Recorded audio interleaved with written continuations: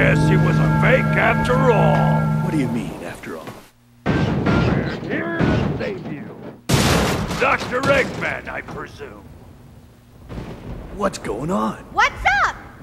You knew it was me all along, didn't you? It's all part of being a good detective. Were we fooled that easily? You're rotten! Hey, hold on, you guys. It's no trick, and besides, I plan on paying you. You'll be rewarded handsomely for helping me.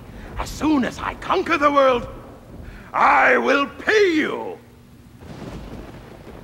Some nerve promising what you ain't got. We've been had. J- Just wait a minute. Just listen to me. Take this, you bad man!